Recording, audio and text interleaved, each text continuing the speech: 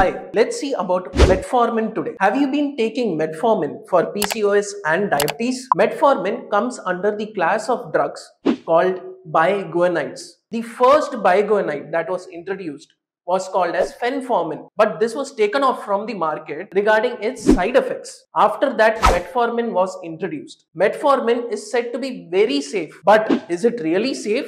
Let us see the side effects of metformin. Metformin on long-term usage can cause vitamin B12 deficiency and it can cause gastrointestinal side effects. Along with this, it can cause various types of lactic acidosis which can cause you harm in the long run.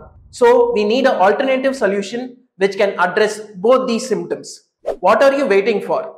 Reach out to us today.